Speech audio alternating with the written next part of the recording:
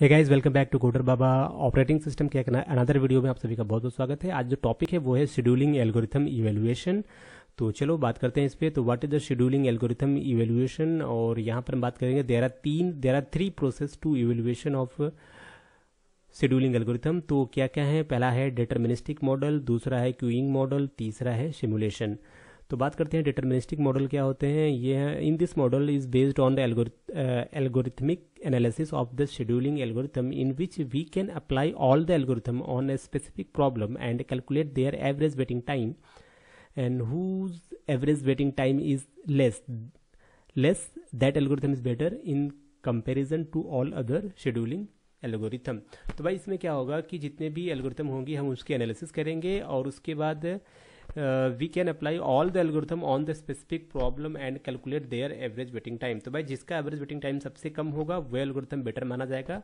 और as compare to other तो आगे चलते हैं इसमें और जो बात करते हैं क्यूइंग मॉडल की तो क्यूइंग मॉडल में जो हमें बेसिकली uh, इसका जो डेफिनेशन होता है हम कह सकते हैं कि it is based on the mathematical analysis ठीक है?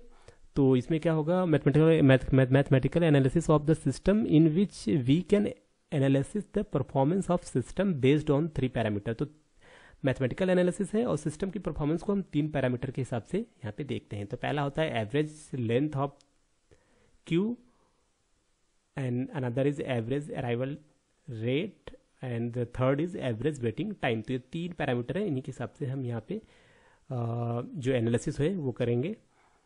अब नेक्स्ट चलते हैं सिमुलेशन की तरफ़। तो ये क्या है? Simulation is based on the software programming approach in which we calculate the performance of the system by implementing specific programs for each algorithm so guys like करें शेयर करें सब्सक्राइब करें। मिलते हैं आपसे अनदर वीडियो में। तब तक के लिए बाय